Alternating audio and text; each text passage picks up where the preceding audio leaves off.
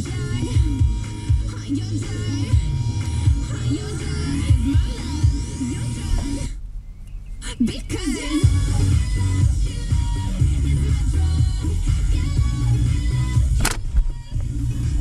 boy, Duke.